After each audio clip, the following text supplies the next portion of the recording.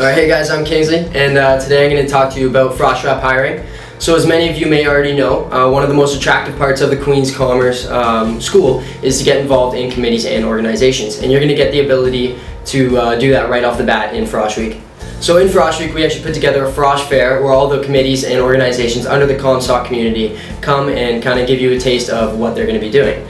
Um, so from there you can apply to these organizations and that's going to start off with one written application and then an interview process. Now the written applications aren't too long, usually a couple pages, and it's just for the executive to get to know you and uh, figure out what you know about the organization and why you want to be on it.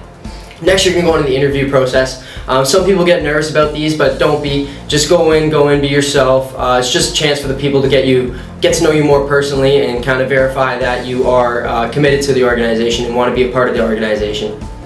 And uh, yeah, it's a great opportunity. Um, I applied to a few, didn't get them, uh, but that's okay because you come around second time around uh, in March. There's more hiring, and uh, you go do your best, and you're most likely to get one next time around with the experience in your pocket. So good luck, guys. Make sure you apply to lots of committees, get involved, and uh, find something you're interested in. Thanks.